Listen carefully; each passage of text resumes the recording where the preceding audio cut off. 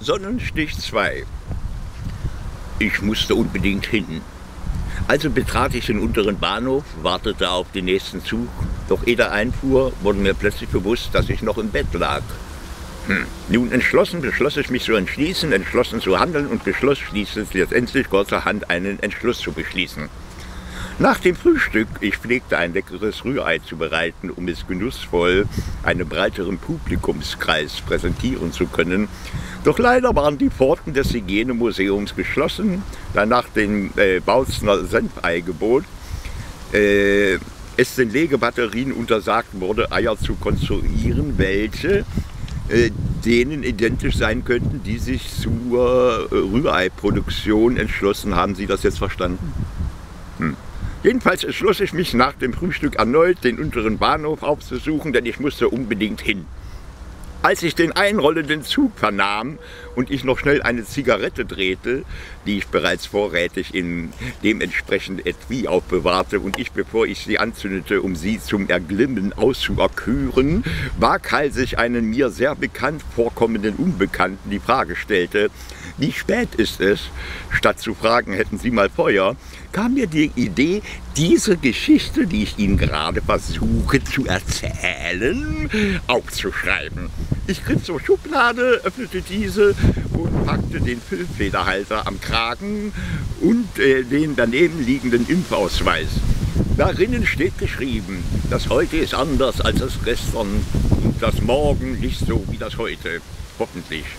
Enttäuscht legte ich das Kreuzworträtselheft zurück in den mir inzwischen so lieb gewonnenen Nähkasten zurück und bereitete mir ein leckeres Spiegelei, in dessen Gelb ich mich bärtigerweise wiedererkannte und begann, mich rasieren zu wollen.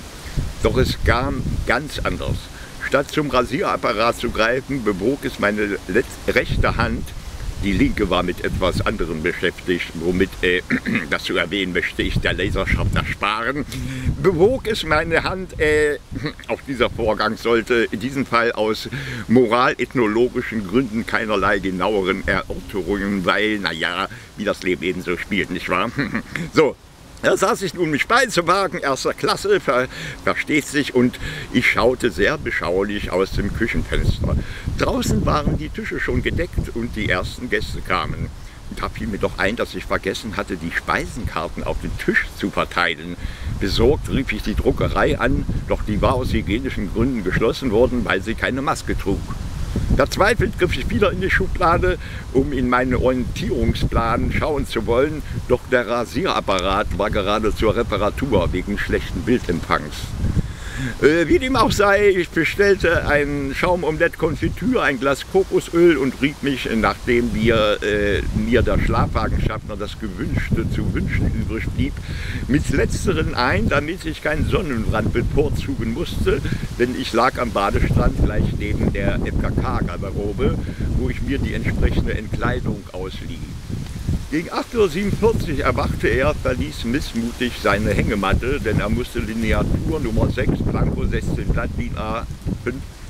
So einfach ist das, murmelte er in seinen wegrasierten Vollbart. Gegen 8.58 Uhr verließ er sein Kinderzimmer und draußen vor der Tür erwarteten ihn schon seine Zwangsadoptiv-Großeltern, um ihn ins Unerziehungsheim einweisen zu lassen.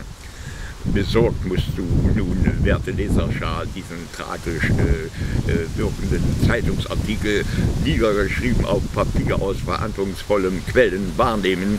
Ihn, äh, doch dann kam Alejandro der Dritte.